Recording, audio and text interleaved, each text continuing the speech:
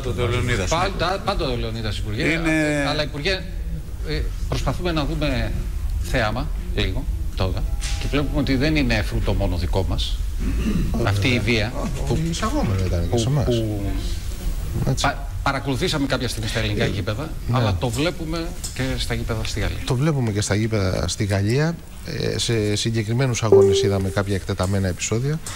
Ε, σε άλλους αγώνες θέλω να πω αυτό που είδα και είδαμε όλοι ότι ο, οι φίλαθλοι των ε, ομάδων, των εθνικών ομάδων ήταν πλάι-πλάι στις εξέδρες και αυτό ε, δείχνει ότι δεν είναι ε, σε όλους τους αγώνες το ίδιο πράγμα ε, αλλά είναι κάτι το οποίο είναι ανησυχητικό και θέλω να πω ότι απασχόλησε και την τελευταία σύνοδο των Υπουργών Αθλητισμού στις Βρυξέλλες το ζήτημα αυτό και τις επόμενες μέρες υπάρχει ε, μια ειδική σύσκεψη των Υπουργών Αθλητισμού στο Παρίσι για το ζήτημα Υπουργέ, της έχετε βίας. πει πολλές φορές ότι δεν είναι ένα απλό φαινόμενο χουλιγκανισμού όλο αυτό το πράγμα. Έτσι είναι. Σας είχαμε φιλοξενήσει και στο παρελθόν εδώ πέρα και είχατε μιλήσει για τη διασύνδεση υποκόσμου στοιχείων με πολιτική ταυτότητα και χουλιγκάνων.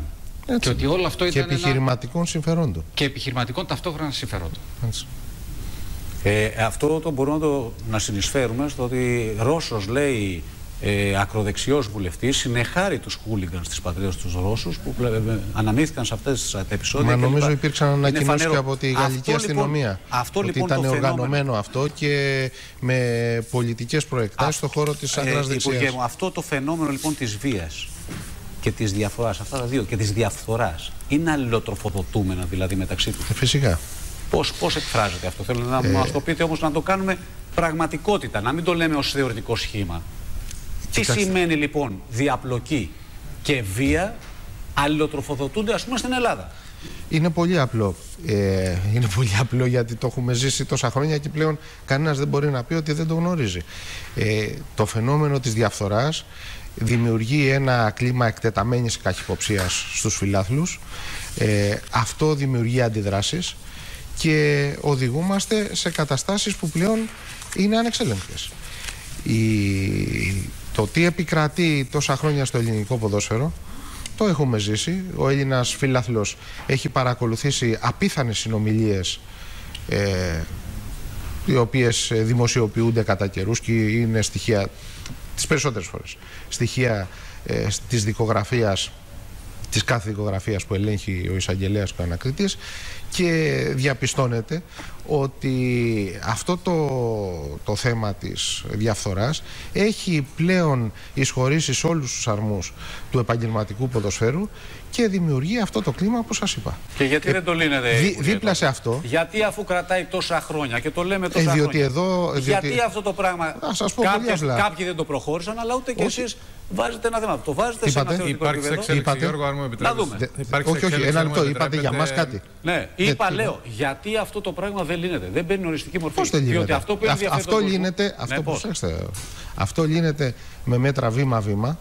Ε, δεν ε, μπορεί να υπάρξει εδώ κάτι θεαματικό για να αλλάξεις νοοτροπίες και καταστάσεις που έχουν διαμορφώσει αυτό το τοπίο που περιγράψαμε.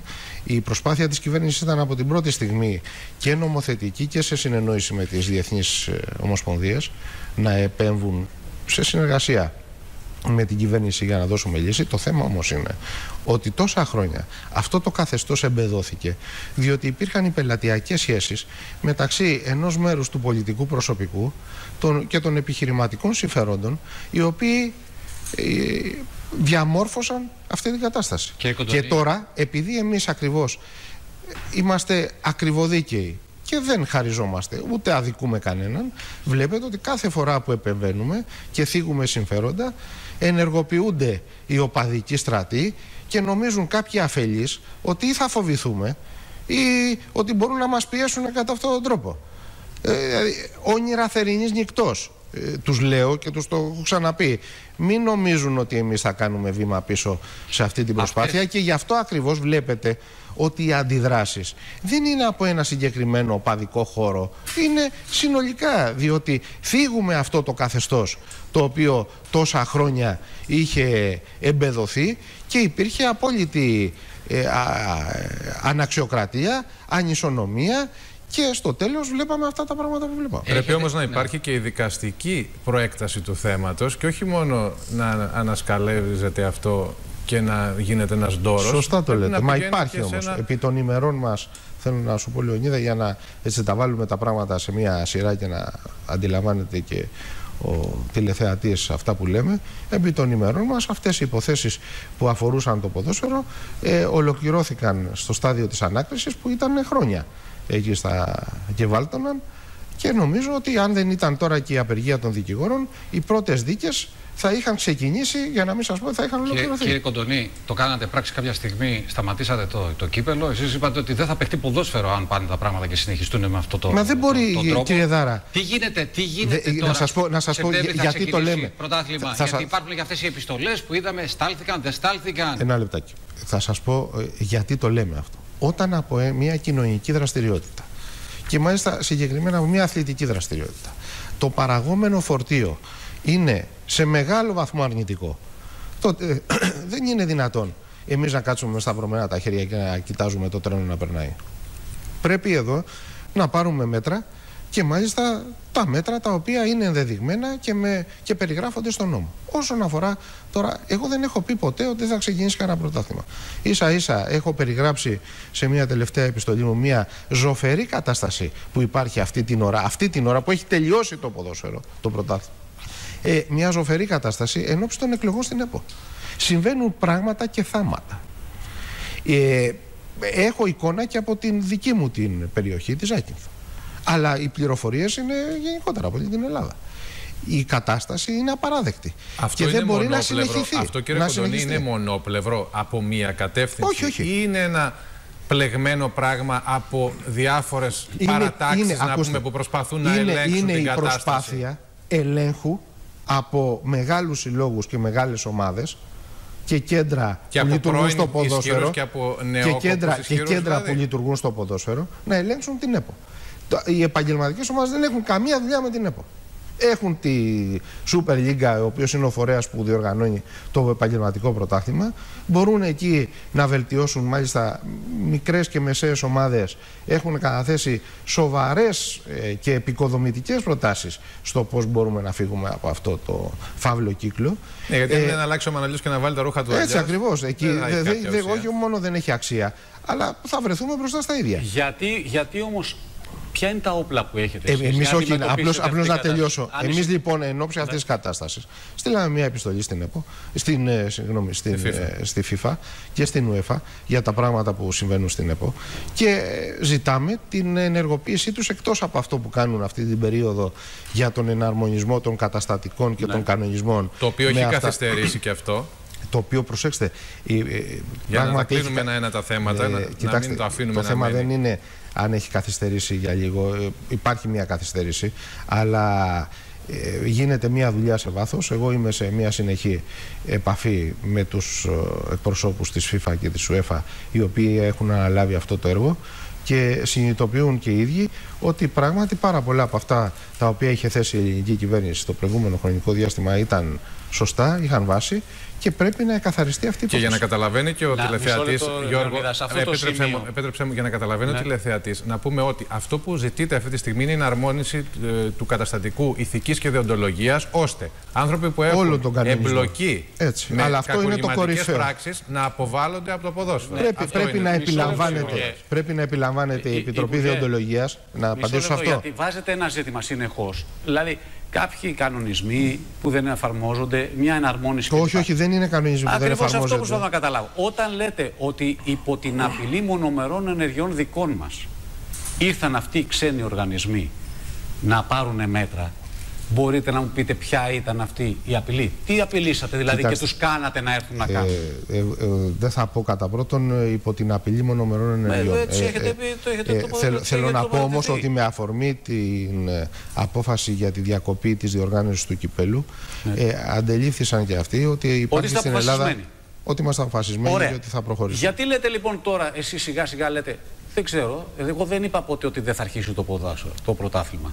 Όχι, δεν, δεν, έχω, δεν έχω κάνει τέτοια δήλωση. Δεν έχετε κάνει. Δεν έχω κάνει δήλωση. Γιατί λοιπόν Αυτά είναι τα όπλα τα οποία έχετε ως πολιτεία. Ακούστε. Απέναντι σε όλους αυτούς. Τα όπλα. Δεν έχει... μπορεί να μιλάτε για αναξιοκρατία. Καθεστώς αναξιοκρατία. Ανισονομία. Ένα, διαπλοκή, ένα λεπτό. Μην, μην λέτε πολλά γιατί ναι. ε, λίγο χανόμαστε.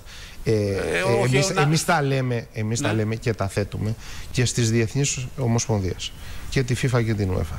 Διότι πρέπει να πάρουν τις ευθύνες τους και δεν μπορούν κάθε φορά που υπάρχει πρόβλημα και η ελληνική πολιτεία και η ελληνική κυβέρνηση επεμβαίνει να έρχονται να μας λένε ξέρετε αυτό εκφεύγει και Είστε ίσως υπάρξει... λοιπόν. λοιπόν αυτό, αυτό που εμείς κάνουμε είναι πρώτα απ' όλα στο επίπεδο του διαλόγου να γίνει κατανοητό το πρόβλημα. Ε, πιστεύω ότι σε μέγιστο βαθμό έχει γίνει αυτή την ώρα κατανοητό λειτουργούν προς αυτή την κατεύθυνση. Ε, πιστεύω ότι τα αποτελέσματα της εργασίας τους θα ολοκληρωθούν μέχρι το τέλος του μήνα το αργότερο και από εκεί και πέρα θα έχουμε μια ε, συζήτηση με τους ανθρώπους των Διεθνών Ομοσπονδιών για, τα, για το πώς εξελίσσεται η ιστορία αυτή της ε, εκλογής για την οποία έστειλα και επιστολή. Επιτρέψτε μου, δεν μπορώ να το δω Υπουργέ. Δεν μπορεί να μιλάμε για όλα αυτά και να λέτε πολλά λόγια επίσης ως κυβέρνηση ότι θα αντιμετωπίσουμε, θα κάνουμε, θα ράνουμε. Μα τα αντιμετωπίζουμε. Δεν πώς τα αντιμετωπίζουμε. Περιμένετε, συζητάτε με τους άλλους, λέτε αφού τους απειλήσατε. Και δηλαδή τόσα χρόνια γιατί δεν το αντιμετώπιζε η FIFA; Δεν απειλήσα... Γιατί δεν το αντιμετώπιζε η FIFA; Μα εδώ σας λέω ότι. Δηλαδή τι θα την κάνει τώρα Λοιπόν, θα με αφήσετε να απαντήσω.